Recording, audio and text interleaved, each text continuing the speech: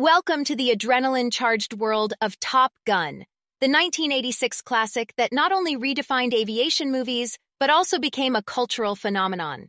Today, we're going to soar through its storyline and sprinkle in some behind the scenes trivia that might just surprise you.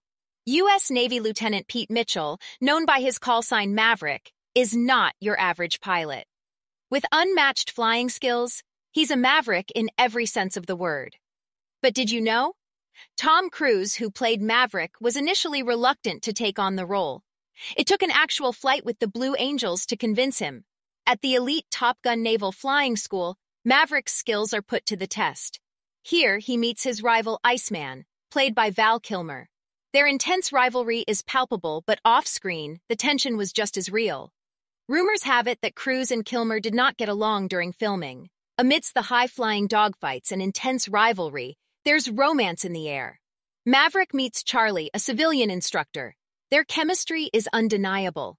Interestingly, the role of Charlie was initially offered to Ally Sheedy, but she turned it down, believing that the film would flop. The aerial sequences in Top Gun are nothing short of breathtaking. But here's a fun fact. The U.S. Department of Defense allowed the film's crew to shoot on the aircraft carrier USS Enterprise.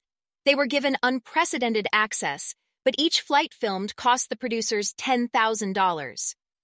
Maverick's journey isn't just about flying, it's also a journey of self discovery. Haunted by his father's mysterious death, Maverick's past is a constant shadow. And when tragedy strikes closer to home with the loss of his best friend Goose, Maverick's world is turned upside down. The film's soundtrack became as iconic as the movie itself. Take My Breath Away by Berlin won the Academy Award for Best Original Song. And who can forget Danger Zone by Kenny Loggins? It's said that Toto was originally approached to perform Danger Zone, but due to legal disputes, they had to pass. As Maverick faces his fears in a climactic battle against enemy MiGs, the stakes couldn't be higher. The aerial choreography in these scenes is masterful. But here's a tidbit. The MiG-28s don't exist in real life. The aircraft shown in the film are actually American-made F-5 Tigers, painted black for the movie. In the end, Top Gun is more than just an action film. It's a story of redemption, friendship, and finding one's path. As Maverick finds his way, he leaves us with memorable moments and iconic lines. And speaking of lines, the famous I Feel the Need, The Need for Speed, was ad-libbed by Tom Cruise and Anthony Edwards. To wrap up, Top Gun remains a cinematic marvel, blending action, drama, romance, and a dash of humor.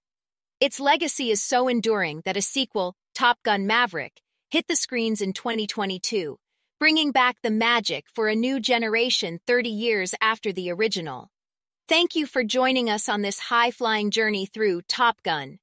If you enjoyed this deep dive, don't forget to hit that like button and subscribe for more. Until next time, keep your wings level and your heart soaring.